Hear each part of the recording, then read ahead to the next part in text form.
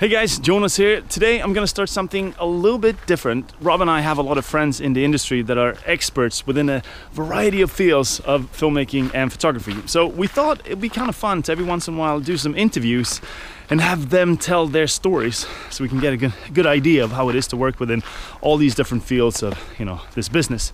So today I'm gonna meet with one of my friends, Christina Karliczek Skoglund, who is an award-winning cinematographer who's worked on big productions all over the world. We're gonna ask her some questions.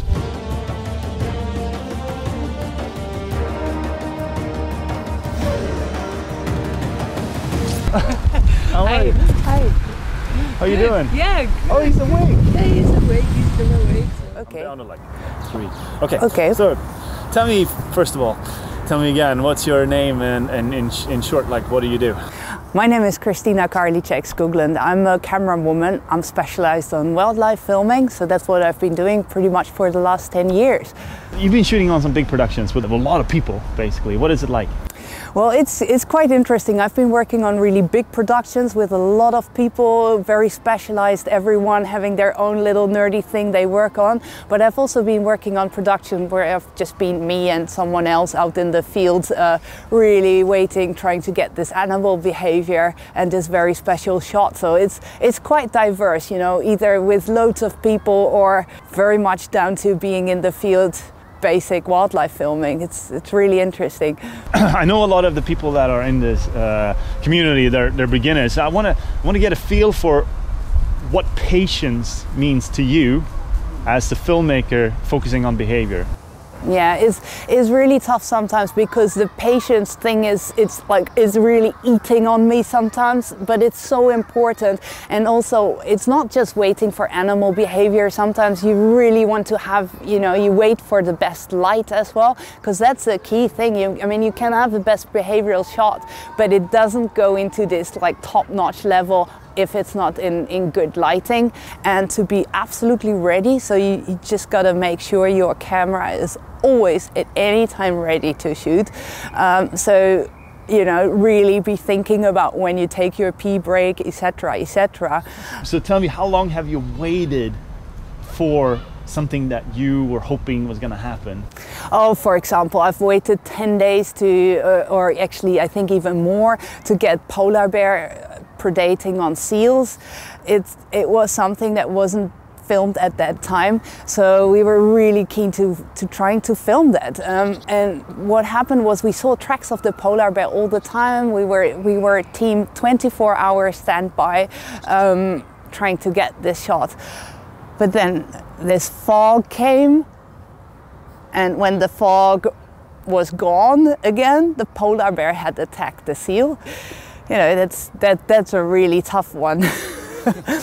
Tell me why I can't show a lot of the clips from these things. Well, it's uh, I often don't own any of the footage I've been shooting, and we, you know, I sign all these like million paper pages of uh, licensing rights. So we are often not able to share anything on Facebook of what we're doing or you know the the contents, what we will be shooting and how, and. Uh, also, I can't, you know, I often don't get uh, to see uh, the production unless it's on television myself or someone sends me a DVD. so, I'm really curious. A couple of tips that you would give to uh, people that want to become uh, cinematic filmmakers. It's about make yourself familiar, go out with with the camera yourself, trying to do little stories. I mean, that's that's how I started out with underwater filming as well. I mean, I've, i was out with a camera all the time underwater, so I mean, you need to you need to practice it. It's got to be like your you know like your second nature. You need to know by heart with closed eyes which buttons to push. If you can, if you have any chance, just go out in the best light hour, meaning like early morning or late evening. It's so much bringing so much more dramatic effect into your images.